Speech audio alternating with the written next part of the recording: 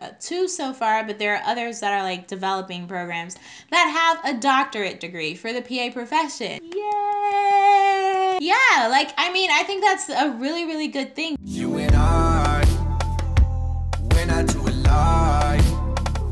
If opposites attract, then by now, would have you wrapped up so tight?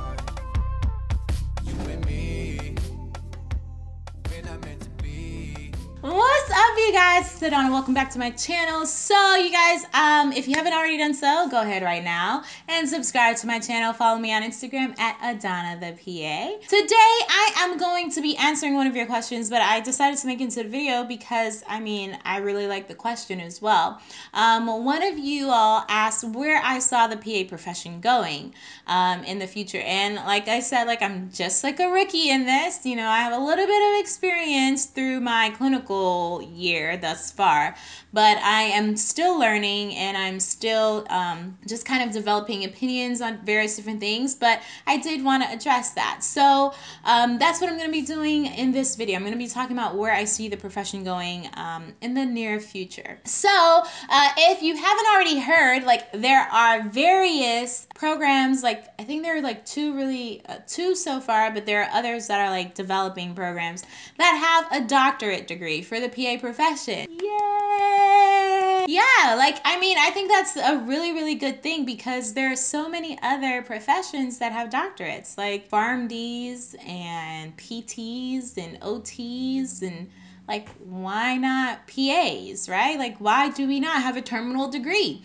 And that is what we are getting right now. So we are getting a terminal degree. Um, it's a doctorate. One of the schools that I know of has a DMSc program. So it's a doctorate of medical science, which is cool. And that is one area where I see movement and where I see the PA profession going. I think that the profession in the near future will be starting to become a doctorate degree. I say this quite often, just like the PA profession started off as a certificate and then went to a bachelor's degree and then it went to a master's degree and now it's a doctorate. Um, well, and now there are doctorates, and I feel like it will be a doctorate in the future. Um, I think that is the degree that a lot of people are going to be getting, and then you're going to see a lot of um, the PAs that do have like masters kind of like go back to get their doctorates and and stuff like that. That's kind of just how the trend has been.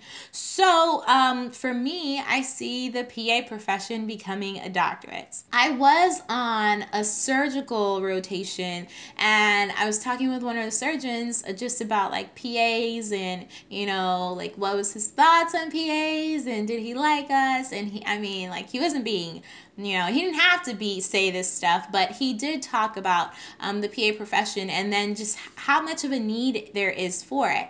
But one thing that really like made me kind of like feel proud of the profession that i'm about to get into is what he said next which was him talking about pas in primary care. So primary care in and of itself like there are like a lot of physicians going into primary care. And so, like, there's a need for primary care physicians and just primary care um, practitioners. And so, that's where a lot of nurse practitioners and PAs come in. The surgeon that I was talking to, he stated that, I mean, PAs can absolutely be like the sole primary caregiver because um, we're trained as generalists. And so, that's also something that I think might kind of, you'll see a shift of in the future as like the baby boomers come in, as the population continues to get a little bit older and more people need health care, and that access to health care is a little bit stifled um, because there are not as many physicians being pumped out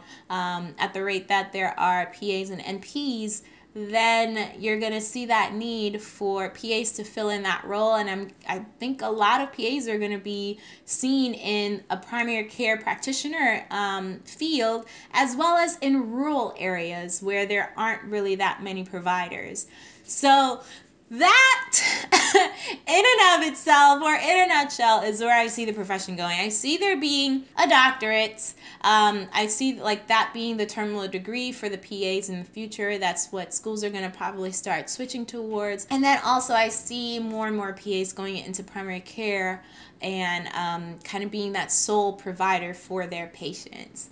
Um, and maybe this is all wishful thinking, I don't know, but I think like I think that it's like I have a good backing um, with what I've seen so far um, to kind of like stake my hold on. So that's where I see the profession going. Um, if you have any other questions regarding anything that I've said in this video, um, or if you want to do some research for yourself on some of that, always go to apa.org and you can get all of that information on just the profession and um, the different moves that the APA, the Academy of Physician Assistants, are making on behalf of the profession. Thank you guys so much for watching. If you haven't already done so, go ahead and subscribe. Leave your comments in the comment section below. If you have a question or you like this video, go ahead and like um, with that like button and follow me on Instagram at Adanna the PA.